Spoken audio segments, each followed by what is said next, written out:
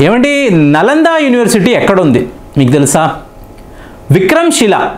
విక్రమ్శిల కూడా మీకు తెలియకపోవచ్చు. తక్షశిల. తక్షశిల అంటే వెంటనే ఏమంటే ఇదేదో పాకిస్తాన్లో ఉన్నట్టు విన్నాము అంటే ఒకప్పుడు పాకిస్తాన్ అన్న దేశం లేదండి. భారతదేశంలోనే తక్షశిల యూనివర్సిటీ కూడా ఉండేది. ఈ యూనివర్సిటీస్లో మీకు ఉండే ప్రొఫెసర్స్ మామూలు వాళ్ళు కాదు. అంటే మీరు ఎడ్యుకేషన్ అనండి ఫిలాసఫీ అనండి మెడిసిన్ అనండి సైన్స్ అనండి టెక్నాలజీ అనండి ఇందులో నిష్ణాతులు ఉండేవాళ్ళు. కానీ మన చరిత్ర పుస్తకాలలో వీళ్ళ గురించి ఎక్కడా ఎప్పుడూ కూడా రాయబడలేదు. ఎందుకు అంటే బ్రిటిష్ వాడు రాయకూడదు అనుకున్నాడు మన వాళ్ళు రాయలేదు. తరువాత స్వతంత్రం వచ్చిన తరువాత కూడా జవహర్లాల్ నెహ్రూ ఎడ్యుకేషన్ సిస్టంలో వీళ్ళ ఎవరి గురించి కూడా రాయకూడదు. స్వామి వివేకానంద గురించి మీరు రాస్తే ఇది సెక్యులర్ దేశము. హిందుత్వానికి సంబంధించిన ఒక రిలీజియస్ నాయకుడు గురించి మీరు రాయకండి అని చెప్పి ఆ పాటి అంశాన్ని వీళ్ళు తీసేసేవాళ్ళు. అలాంటి ఒక ఎడ్యుకేషన్ సిస్టమ్ ఉండింది. కానీ ఇవాళ ఒక ఎనిమిదవ క్లాస్ పిల్లవాడిని నాయన నలందా యూనివర్సిటీ ఎక్కడ ఉంది అంటే రాజగృహ అని చెప్పి ఇప్పుడు రాజగిరి అంటారండి.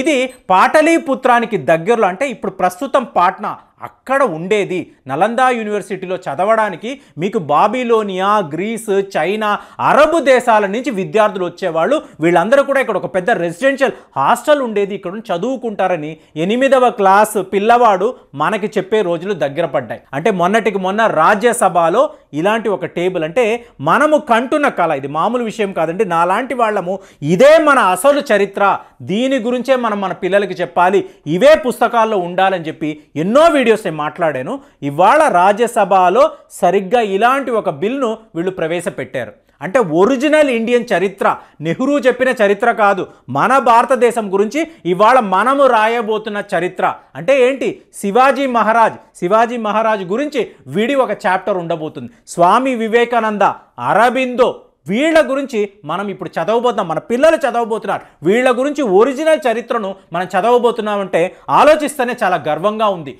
ఇన్నేళ్ళు వీళ్ళు చేసిన ఈ మోసము ఎడ్యుకేషన్ ఎడ్యుకేషన్ చెప్పి చెత్త చెదారాన్ని మీకు Alexander the great Akbar the great అని పిచ్చి పిచ్చిగా అర్థం పర్థం లేని అన్ని తప్పుడు అన్ని అబద్ధాలు వీటి గురించే రాశారు వీటి గురించే మనం చదివాము. ఇదే మన భారత చరిత్ర అనుకున్నాం. మన సెల్ఫ్ ఎస్టీమ్ని పోగొట్టుకున్నాం. మనము గొప్పవాళ్ళము. ప్రపంచాన్ని ఏలిన దేశం ఇది. ఈ ప్రపంచానికి గురువు లాంటి దేశము అన్న ఆ భావన ఏ భారతీయుల్లో ఎప్పుడూ కూడా లేదు. ఇవాళ నేను ఇన్ని వీడియోలో చెప్పినా కూడా ఆ మన అంత గొప్పవాళ్ళం కాదండి. బ్రిటిష్ వాడు వచ్చాకే ఇండియా ఇంతలా ఎదిగింది. వాడు కట్టిన కట్టడాలే కదా ఇది. మనమేం కట్టామని చెప్పేవాళ్ళే ఎక్కువ ఉన్నారు. ఒక మెడ్రాస్ యూనివర్సిటీ బిల్డింగ్ని చూపించి చూసారా? బ్రిటిష్ వాడు కాబట్టి ఇలా కట్టాడు. ఏంటంటే మరి ఇన్ని గుళ్ళు ఎవడు కట్టాడు? చిదంబరం గుడి ఎవరు కట్టారు? మదురై మీనాక్షి గుడి ఎవరు కట్టారు? ఇక్కడ అహోబిలం ఎవరు కట్టారు? ఇంతంత పెద్ద గుళ్ళు ఎవరు కట్టారు? బ్రిటిష్ వాడు వచ్చి కట్టాడా? మన వాళ్ళే కట్టారు. చెప్తారా కదా పిరమిడ్లు కట్టిన వాళ్ళు భారతీయులు. సో ఈ చరిత్రనంతా కూడా ఎక్కడో దాచిపెట్టి మన గురువులకు తీరని ద్రోహం చేశారు ఈ దేశంలో ఉండిన నాయకులు. ఇవాళ ఇవన్నీ కూడా మీకేంటంటే టోటల్గా వీటికి ఒక తెర పడిపోతుంది. ఎందుకంటే చూడండి భారత ప్రభుత్వం ఒక కొత్త వీళ్ళు ఒక రిపోర్ట్ అనేది ఇచ్చారు. ఈ report పేరేంటంటే reforms in context design of school text books అని. సో దీన్ని ఇచ్చిన వెంటనే రాజ్యసభలో దీని మీద వీళ్ళు ఏంటంటే ఒక యాక్ట్ అనేది ఇవాళ తీసుకురాబోతున్నారు. ఎందుకంటే మీరు చూడండి national council for educational research and training books అని అంటారు. సో వీళ్ళే పుస్తకాలను ప్రింట్ చేస్తారు. వీళ్ళే ఎలాంటి సిలబసెస్ ఉండాలని చెప్పేసి వీళ్ళు నిర్ణయం తీసుకుంటారు. ఇవాళ వరకు వీళ్ళు తీసుకున్న నిర్ణయాలు అంతా కూడా ఎడ్యుకేషనల్ డిపార్ట్మెంట్స్ వాళ్ళు వీళ్ళని ఇన్ఫ్లుయెన్స్ చేయడము దాన్ని బట్టే వీళ్ళు కరికులం అనేది ఫామ్ చేశారు. ఇవాళ వీళ్ళు ఏమంటున్నారంటే ఎయిత్ స్టాండర్డ్ వచ్చేటప్పటికి మనకు మన దేశంలో ఎలాంటి యూనివర్సిటీస్ ఉండే చెప్తున్నా కదా నలందా యూనివర్సిటీ అనండి తక్షశిలా యూనివర్సిటీ అనండి ముజురీస్ యూనివర్సిటీ అనండి ఇందులో ఎలాంటి ప్రొఫెసర్స్ ఉండేవాళ్ళు ఎలాంటి ఫెసిలిటీస్ ఉండేవి ఎలాంటి పుస్తకాలు ఉండేవి? మీకు హయ్యెస్ట్ అంటే the most advanced educational system అనేది మూడు వేల సంవత్సరాల క్రితం భారతదేశంలో ఉండేది. ఎంతమందికి ఇది తెలుసు? ఇవి చదివితే చాలండి ఇలాంటి ఈ నాలెడ్జ్ మన పిల్లలకు ఉంటే చాలండి. వీళ్ళని ముందు ఇంతకు ముందు ఒక వీడియో పెట్టాను చూసారా? ట్విట్టర్కి సీఈఓ అయ్యాడని. దీనికి బాబు లాంటి రోల్స్ మన వాళ్ళు ప్లే చేయగలరు. పెద్ద పెద్ద కంపెనీలను వీళ్ళు సింగిల్ హ్యాండెడ్గా రన్ చేయగలరు. అంత నాలెడ్జ్ పుస్తకాల్లో ఉంటాయి. మెడిసిన్కి సంబంధించి అసలు ఎలా సర్జరీ చేసేవాళ్ళు సర్జరీ చేయడానికి ఎలాంటి అనెస్థీషియా ఇప్పుడు మూడు వేల సంవత్సరాల క్రితం. అనస్థీషియా కూడా వీళ్ళు ఇచ్చేవాడు అలాంటి మహోన్నతమైన వైద్యులు ఇక్కడ ఉండేవాళ్ళు. గొప్ప గొప్ప మీకు ప్రొఫెసర్లు ఉండేవాడు.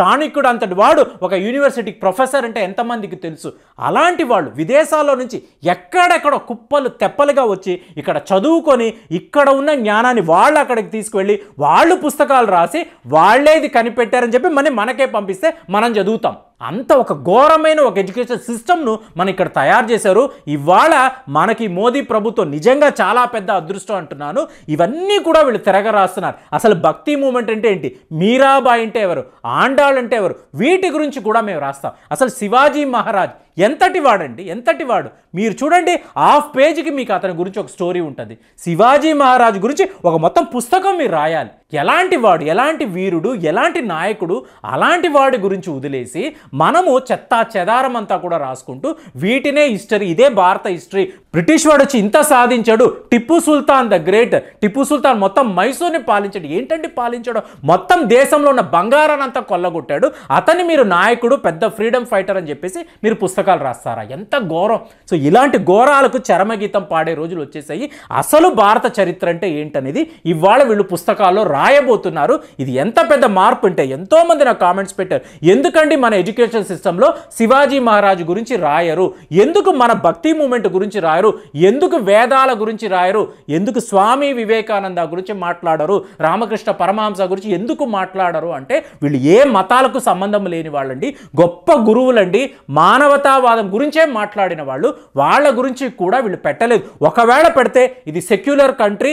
హిందూ పర్సనాలిటీస్ని ఇందులో తీసుకురాకండి అని చెప్పి వీళ్ళు బలవంతంగా తీసేసేవాళ్ళు. అంత ఒక దౌర్భాగ్యమైన ఒక ఎడ్యుకేషన్ సిస్టమ్ మనకు ఉండేది. ఇవాళ రెండు వేల పద్దెనిమిది రెండు వేల పంతొమ్మిది నుంచి ఈ మార్పులు రాబోతాయని చెప్పేసి ఎడ్యుకేషన్ డిపార్ట్మెంట్ వాళ్ళు చెప్తున్నారు. రాజ్యసభ సాక్షిగా వీళ్ళు బిల్ అనేది పాస్ చేశారు. ఇదంతా కూడా కరెక్ట్గా జరిగితే వచ్చే సంవత్సరానికి భారతదేశంలో కొత్త రకమైన ఎడ్యుకేషన్ సిస్టమ్ ఉంటుంది. కొత్త రకమైన టెక్స్ట్ బుక్స్ ఉంటాయి. మన పిల్లలు భారతదేశానికి సంబంధించిన అసలు చరిత్ర అనేది ఇక మీదటే చదవబోతున్నారు. అంటే డెబ్బై మూడేళ్ళ తరువాత నిజమైన ఇండియన్ హిస్టరీ ఏంటి? ఎంతంత గొప్పవాళ్ళు ఎంతంత గొప్ప గురువులు ఎలాంటి మేధావులు ఈ దేశంలో బతికేరు అనేది ఇవాళ మనం తెలుసుకోబోతున్నాం మన పిల్లలు తెలుసుకోబోతున్నారంటే ఆలోచిస్తేనే చాలా గొప్పగా ఉంది. సో మనం బాధపడాల్సిన విషయం అంటే మనం చదువుకున్నదే తప్పు మనం చదివిన పుస్తకాలన్నీ తప్పు. అలాంటి పుస్తకాలు చదివి ఓహే ఇదే నిజమా అని చెప్పి మనం అప్పుడు భ్రమలో ఉండేవాళ్ళం. అదృష్టం ఇప్పుడు మన పిల్లలు అలాంటి మాయలో లేరు అలాంటి తప్పుడు చరిత్ర చదవరు.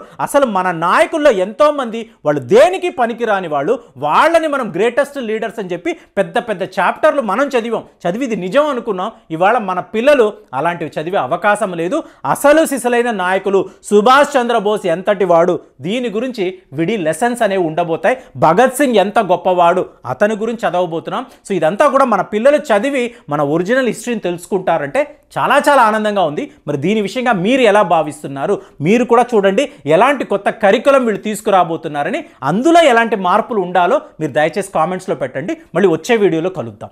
జై హింద్.